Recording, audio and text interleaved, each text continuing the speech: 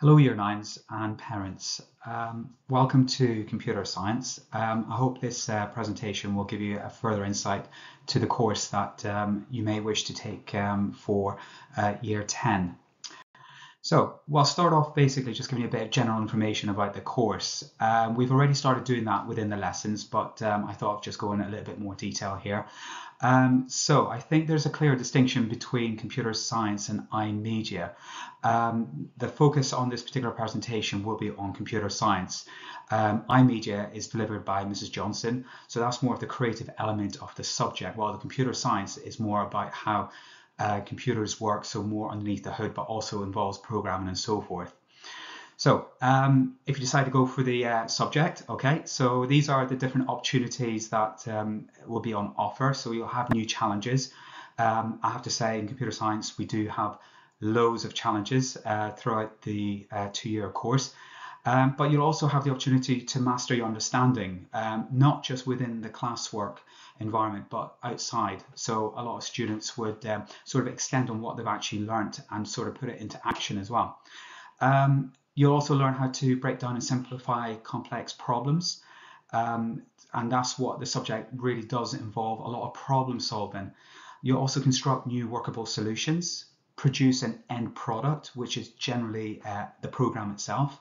And also, um, I highly um, encourage all my students uh, to collaborate and share their ideas and working with each other so that they're not always just working in isolation. So you get more out of it. So trying to put it into almost like a, real life um, work example.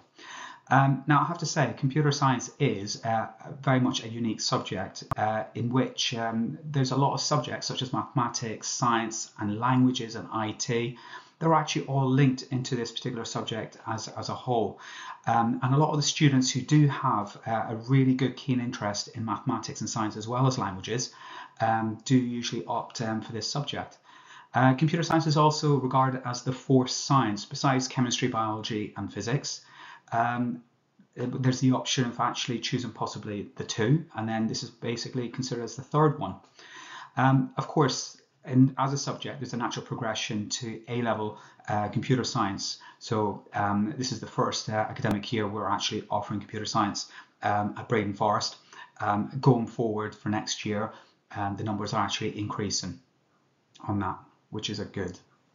Um, now, in terms of how you're going to be assessed, um, of course, like with all examinations, um, in this case, you have paper one and two. So paper one will be primarily concentrating on programming, uh, problem solving. So 50% is actually focused on workable solutions, as what I said, is uh, planning and programming. Um, so you'll have the opportunity to design, write, test, as well as refine your coding. Um, of course, this is not just one thing you will learn over one uh, period of time. It's something that will evolve over two years. So we have to sort of put it in context as if you were learning a new language. You need to keep practicing and keep developing and refining your solutions. So this is followed by paper number two, which is uh, linked to theory. Um, so 50% is once again is the the other half. Um, basically, you're going to be assessed on like data representation. So that list that was like our um, second unit that we actually learned in this academic year in year nine. Um, and then also we've got cybersecurity. Um, there's a huge uh, keen interest and drive to move things forward on that. Uh, how to do uh, how computer systems as well as how networking works together. So a lot more focus is actually on the technical understanding how things work together. In terms of your learning, um, very much on what I, um, have said before. Um, so you'll be introduced to new topics. Um, in this academic year, in year nine, we've already covered three topics, or two. We're on, on the third one, which is Python. And we're going to do advanced Python later on in uh, year nine. So there will be new units. Um, so it will be quite fresh in terms of what you're going to learn. But also you'll have the opportunity to develop on what you've already learnt, particularly in year nine. Um, You'll also develop uh, your programming skills and knowledge over the two academic years. Opportunities, once again, to work with others. There'll be also opportunities to work um, by yourself as well.